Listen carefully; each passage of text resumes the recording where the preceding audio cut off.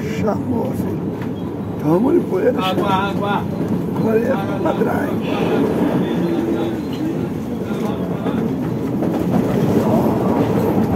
Eita! Chama, filho. Chama.